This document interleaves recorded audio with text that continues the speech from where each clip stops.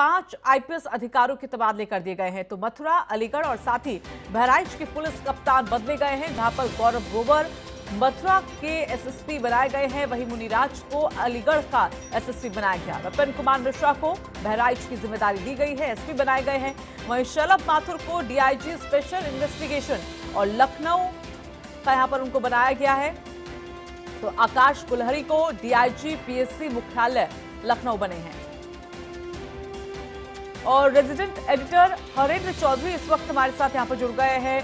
हरेंद्र जी, क्या ये रूटीन प्रक्रिया है जो तबादले किए गए हैं या फिर कहीं ना कहीं शिकायत या फिर एक तोहफा यहाँ पर, पदोन्नति यहाँ पर कह सकते हैं, प्रमोशन के तौर पर किया गया है?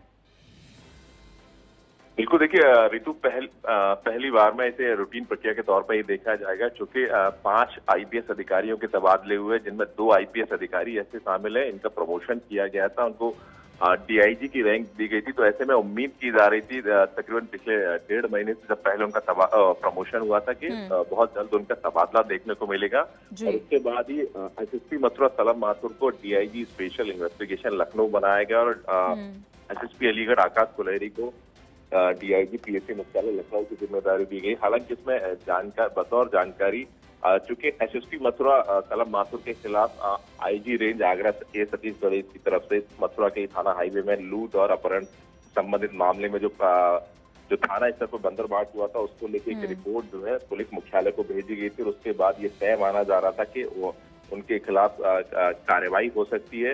हालाँकि एक प्रमोशन के बाद में इसको तबादला कहा जाएगा लेकिन जिस तरह से उनको स्पेशल इन्वेस्टिगेशन की ज़िम्मेदारी लखनऊ में दी गई है तो अ, सीधे तौर पे जो IG range A Satish Ganesh की जो रिपोर्ट थी उसका असर इसको कहा जाएगा।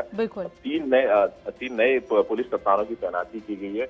मथुरा में बहराइच के एसपी गौरव ग्रोवर को ज़िम्मेदारी दी गई एसएसपी मथुरा की।